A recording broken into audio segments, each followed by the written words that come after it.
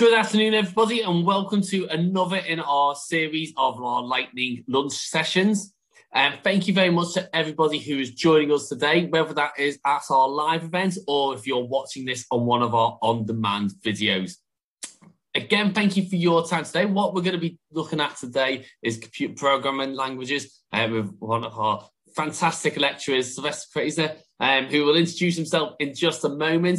Just to kind of go through, obviously, how this works today, just a few pointers. Obviously, if you're watching this on a video, you don't have to be worrying at all. If you're watching this live on Zoom, obviously you can sit back, relax. We can't see you, we can't hear you. You can't accidentally turn your camera on or anything like that. The way to communicate with us is to use the Q and A button. So you'll see that there. Um, if you do think, why are they looking at different directions? We have more than one screen. So we're trying to look at the questions as they come in live so we can answer them to you. And obviously, as we are continuing the way 2020 left off, this is a live webinar, so we apologise in advance if any doorbells go, any animals walk into the background, children run into the screen, for example. But at least you know that we are coming live from our homes in a kind of still lockdown based environment. I've rabbited on now enough, so I'll hand you over to the main event and I'll hand you over to Dr. Silva, Sylvester, please now. Okay, uh, can you stop sharing the screen, please? Yes. Uh...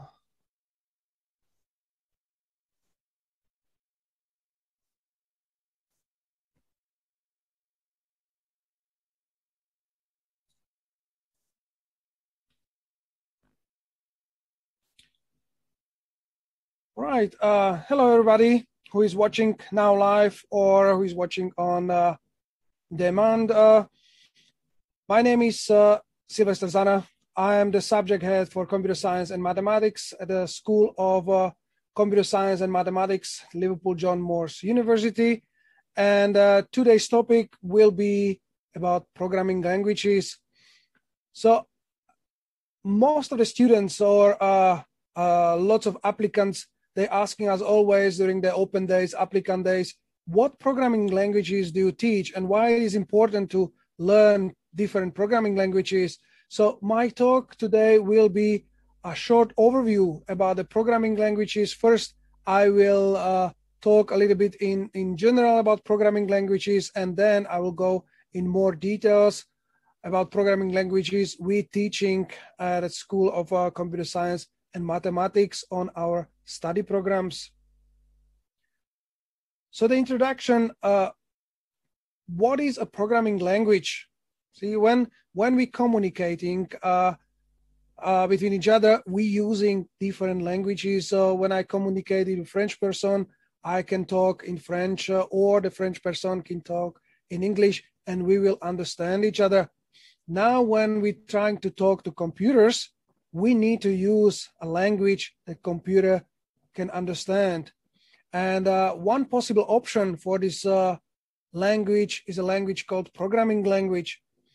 So a formal definition of a programming language is that a programming language is a set of commands, instructions, and other syntax to create a software program. Now we can uh, split programming languages uh, to different type of groups and uh, on different levels, for example. So we can recognize high level languages or low level languages. High level languages allows programmers to write so-called source code in a natural fashion using logical words and symbols. We can use keywords like function, while, if, or symbols like plus, minus, or non-equal then the second set of languages or second group of languages are the low level languages. And we're using those languages because they recognize they are recognized directly by the computer hardware. the computer hardware can recognize zeros and ones, and the low level languages are based on uh, zeros and uh, ones. Now, let's talk a little bit more about high level languages because again, this allows us to create a source code and then based on the source code, we can create uh, applications and programs that we can run on the computer. So high level programming languages, we can split the whole languages in this group into two subcategories, which are the compiled languages or interpreted languages. And now I believe you'll become familiar with the names like a C++, Java, Python, and so on. So compiled languages are the languages that allows us to create software applications, for example, computer games. Why they are called compiled languages?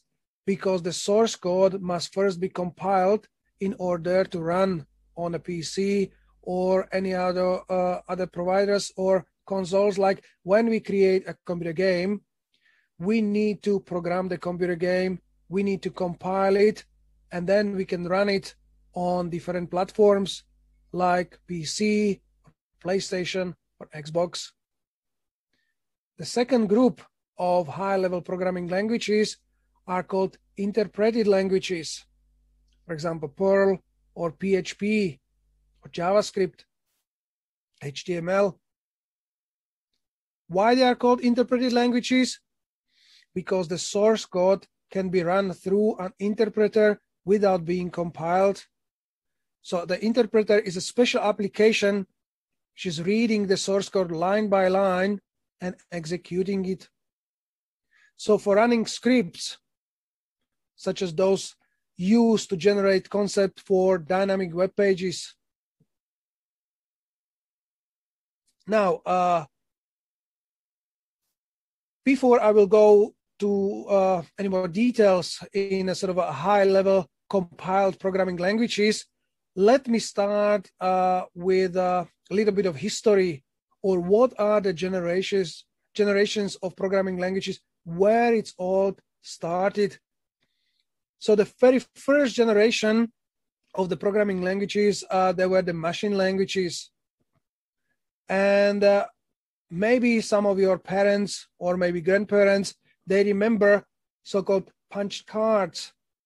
A punch card was a piece of stiff paper that holds a digital data represented by the presence or absence of holes in predefined positions. Yeah, you can see here very sort of a, a light example of the punch card. So it was a simply a small paper where there were holes in a paper, and the position of the hole, the computer when the computer was reading the holes, it understood what uh, what was the command, what the computer should do. So there was the very first generation of uh, programming languages then the second generation assembly languages. Uh, here is an example of assembly language. Again, uh, only the sort of a very specialized computer programmers can understand the assembly language because uh, it's uh, it's not very obvious what the computer should do. But anyway, then there was the third generation, and now uh, there was the generation of high level languages such as Pascal, C, COBOL, Fortran, yeah, which uh, most of the languages are still used. For example, C language is very good language for system development. Fortran is really good language for uh, scientific computations.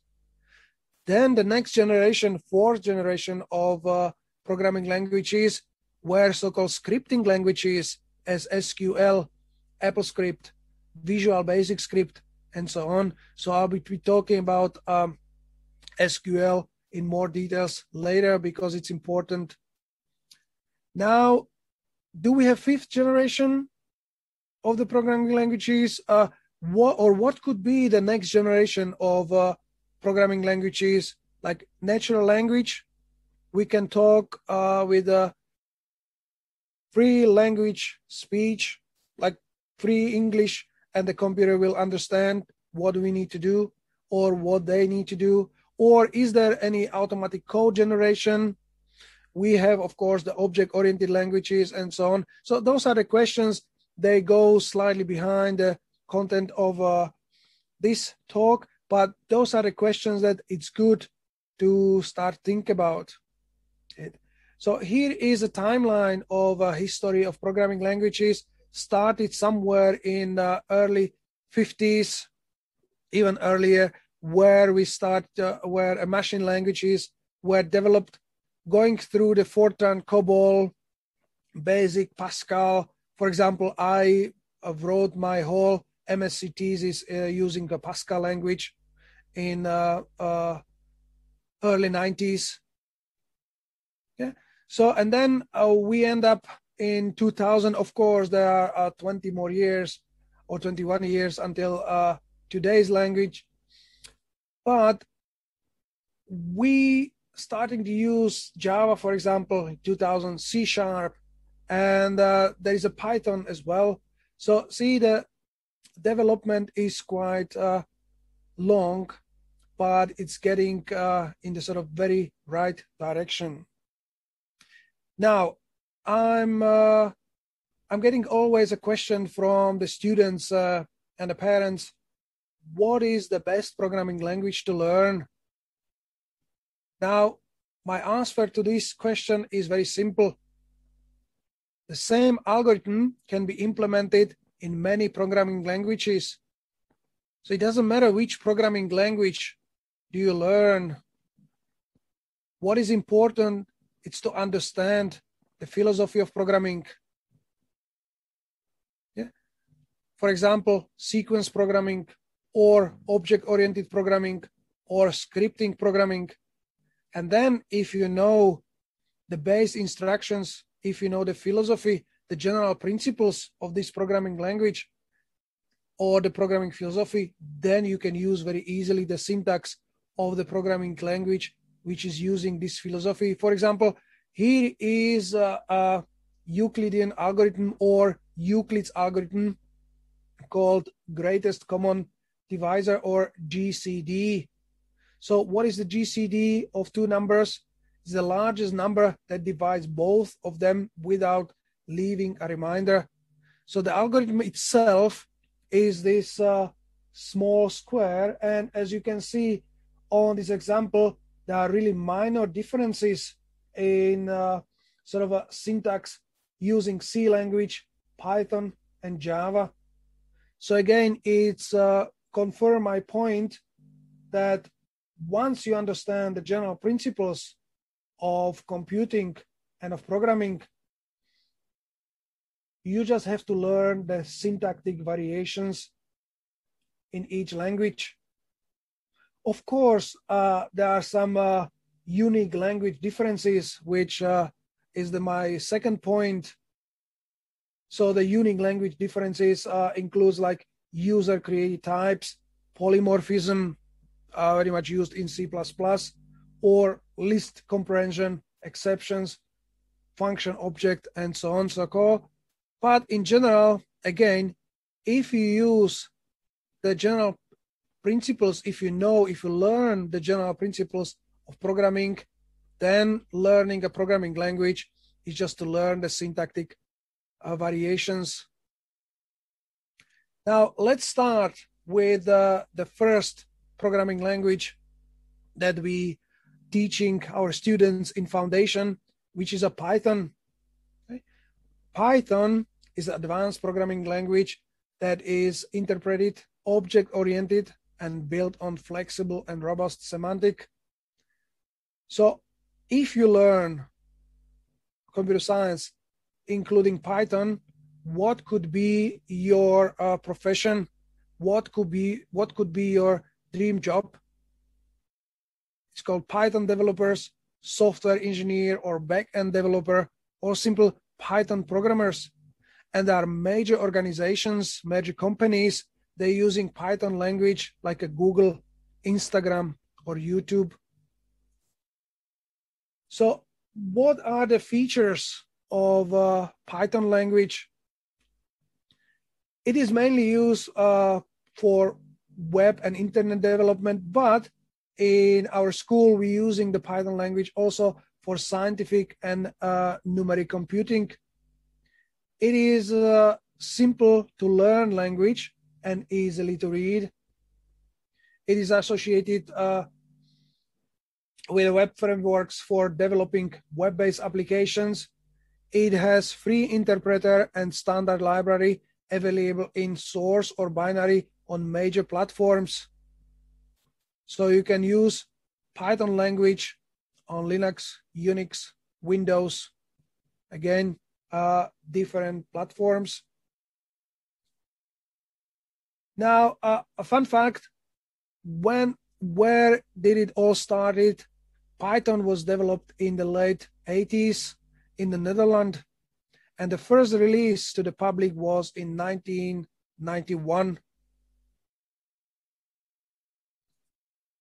Now, the second language that we teaching at the Liverpool John Moore University at the School of Computer Science and Mathematics is Java. All the first year students of uh, computer science programs, they must pass the introduction to programming, where we teaching Java language. Java is a general purpose, object oriented, high level programming language with several features that makes it ideal for web based development. Now, we're teaching Java because it's really good for educational purposes.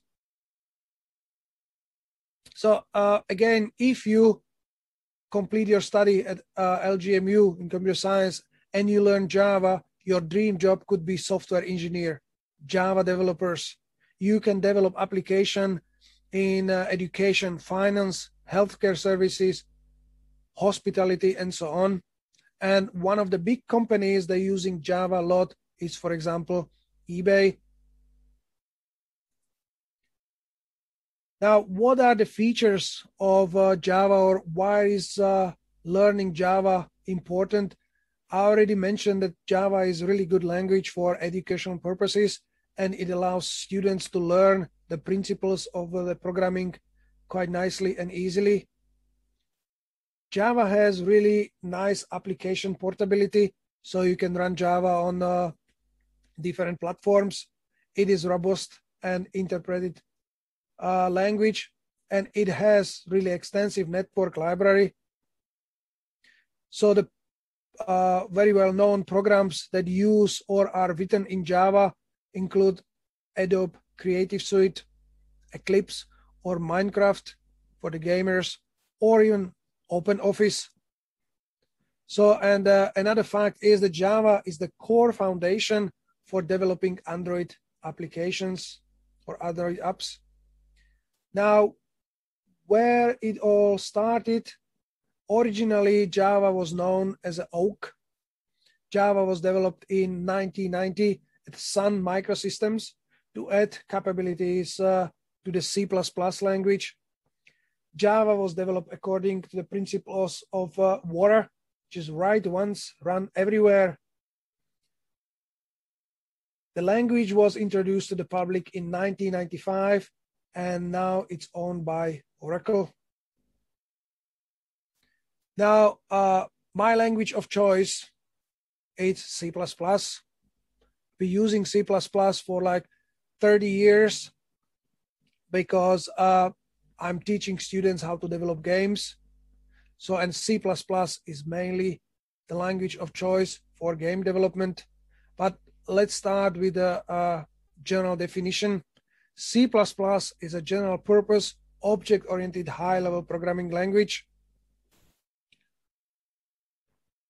When you finish again LJMU with the computer science uh, programs and you learn C++, you could become C++ software engineer, C++ software developer, programmer analyst, but also game developer. So companies you may know that using C++ a lot are Google, Adobe Software, or Amazon. And there are more specializations for C++ language, not only games, uh, even the most of the AAA games are written using C++ language. C++ is used for drivers, client server applications, embedded firmwares, and so on. Now, where it's all started, C++ has been released in 1983 and often considered as object-oriented version of a C language. C++ was created to compile lean, efficient code while providing high level abstractions to better manage large development projects. and it is often the first programming language taught at college level. Now, starting with the scripting languages, uh, HTML or hypertext markup language is the language uh, used to create web pages. So when you learn this language, you can become web developer, email is a software engineer, and so on. Company using this language is Apple, and the main specialization again is the web development.